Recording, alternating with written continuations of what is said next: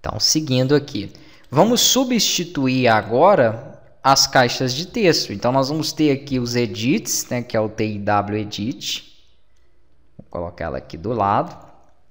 Vamos configurar primeiro essa, depois eu copio ela para a próxima. Vamos ver aqui, ó. Nós temos pro pro input, ele é do tipo e-mail, tá? Ele tem um ID.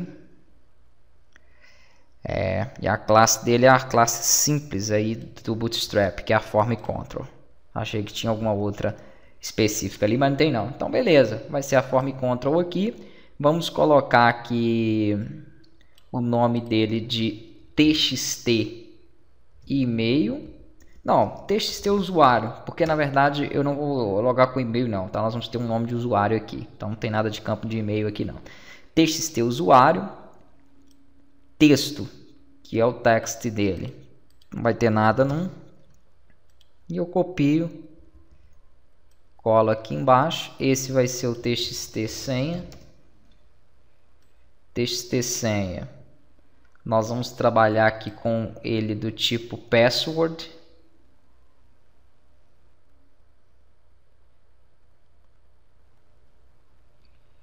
Vamos colocar aqui o seguinte. Form control, tá? Vamos tirar, não, já está sem o texto. Aqui, ó, password prompt true. OK. Somente isso mesmo.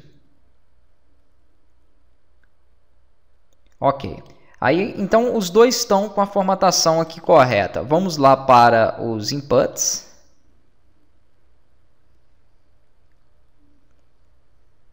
Vamos tirar os dois.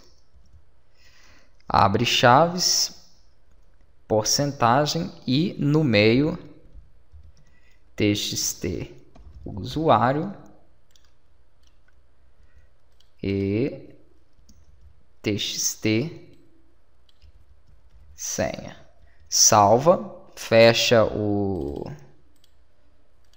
projeto aqui e roda novamente. Compila ele de novo porque entrou novos objetos aí né, em tela.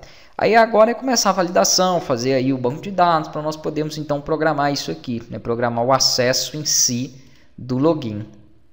Vamos rodar aqui.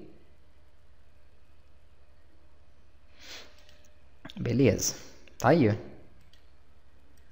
Temos aqui eles, percebam que continua com efeito.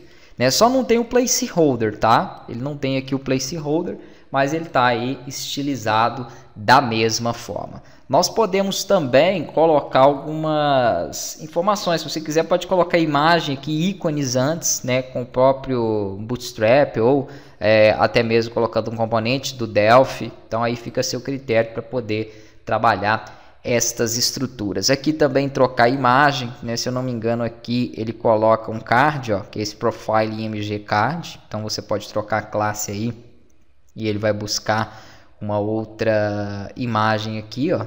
Né? Você pode colocar qualquer source aqui ou até mesmo colocar ela também de forma manual, tá? Criar lá dentro dessa pasta root, que é a da aplicação, a pasta de imagem e buscar pelo caminho aí de forma manual. Aí fica a seu critério aqui, né, como que vocês optam por chamar este elemento. Vou deixar desta forma aqui mesmo. Acho que assim tá bom. Aqui eu poderia, se você quiser trabalhar com eles, com algum objeto antes né, da caixa de texto, você pode colocar aqui para dividir ele em uma linha e aí você coloca a proporção do bootstrap né, para aquela linha. São 12 colunas, por exemplo, poderia ser duas colunas para o ícone e 10 para a caixa de texto. Então seria interessante aí também para vocês poderem editar. Esse tipo de estilização eu até mostro no curso de Delphi Pro Web, tá? Então eu tenho alguns exemplos lá que eu mexo na linha, divido, então eu foco um pouquinho mais também na parte do Bootstrap. Tendo feito isso, vamos fazer o seguinte, vamos para as validações, né? Vamos para as validações aqui. É, aqui eu não cheguei a olhar como ficou a questão do texto. Não, tá bom.